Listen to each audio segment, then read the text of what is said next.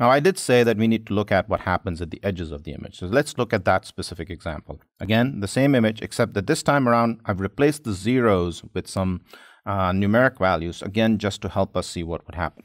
Again, my uh, output, and I filled it out again, the middle part as we've done in the previous frame. So now we have to start thinking about how do we fill the edge cases out. Again, doing my filtering using a 3 by 3 which we will rub over. And we did that. Now, of course, I still don't have any values here. To achieve that, what I need to do is basically pad this image with additional information. So to achieve that, basically what I do in this instance, as long as I'm actually looking at a 3 by 3 neighborhood, I need to add one uh, neighborhood pixel or one column or one row to make this image by bigger by one. Of course, if my kernel or my uh, size of the filter that I'm looking at is bigger than 3, let's say 5 by 5, then I would have to add three different rows and columns to be able to give it more information so I can fill this out. So once I put this up, I need to also fill it out with values. One thing we can do is basically take these values and copy them over. So basically just copying them over actually gives us more information here. Uh, this one can also be then copied over or some sort of a simple numerical method like an average of this could be used to do uh, replace this value here.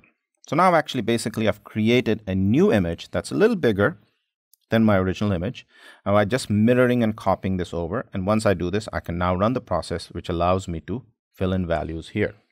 So now basically suggests is that I can take this 3 by 3 and when I apply it here, the value would be filling out here. And similarly, this way, all of this this and this would also be filled out. Of course, there will be degradation of information. Uh, most of the pixel values here would not, of course, be completely correct because we're kind of synthesizing a buffer to be able to help us do this type of filtering. There are many strategies usually available how we can actually add this information.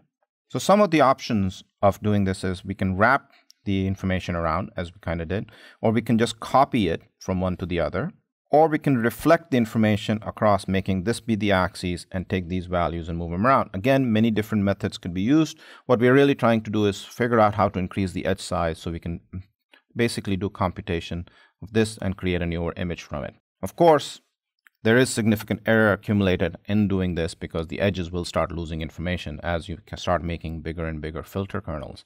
Of course, remember again that if I was to do 5 by 5, I would have had to add two layer, two rows and two columns and make a bigger image to be able to then fill in values.